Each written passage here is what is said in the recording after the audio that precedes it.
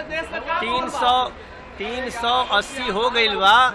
चार सौ पार करे खातिर आज हमने के अंतिम में हम सम्राट चौधरी जी, राजीव प्रताप रूड़ी जी और मनीष कश्यप भी बक्सर तक हो जई हाँ और आज हमनी के बक्सर, सासाराम सब जाइल जाई। चार सौ प्लस हो थटे।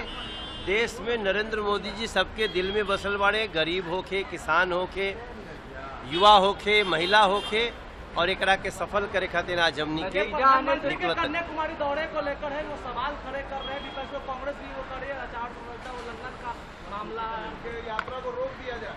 नरेंद्र मोदी जी लोगों के दिलों में बसे हैं। कौन कौन रास्ता रोकोगे?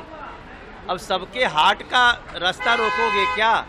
नरेंद्र मोदी जी अपने कर्मों से दिलों में हैं और जो विपक्ष है वो अपने कर्मों से रसातल में जा चुका है। आने से पहले इंडी गठबंधन एक जून को बड़ी बैठक करने जा रही है विपक्ष अब आने वाले अब इंडी भिंडी के बिया जैसा बिखर जाएगा।